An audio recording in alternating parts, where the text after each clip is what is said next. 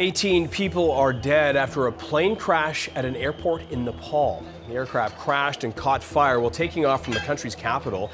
It was carrying two crew members and 17 technicians who were going for regular maintenance to Nepal's new Pokhara airport. The captain was the sole survivor and was taken to hospital for treatment. Officials say the airport was temporarily closed following the crash, but reopened within hours.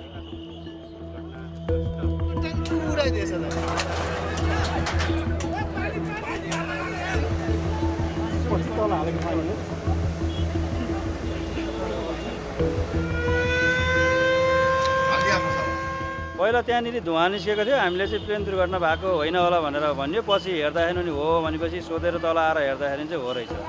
अनि मान्छे निकाल्दै गरेको चाहिँ आदि यो माथि नै दुई टुक्रा माथि ठोकि कन्टेनरमा ठोकिनु थियो दुई टुक्रा भएको रहेछ। त्यसपछि चाहिँ तपाईँको आधी मान्छे माथि पाखाबाट निकाल्दै थियो आधी तलबाट निकालिरहेको थियो। त्यति नै हो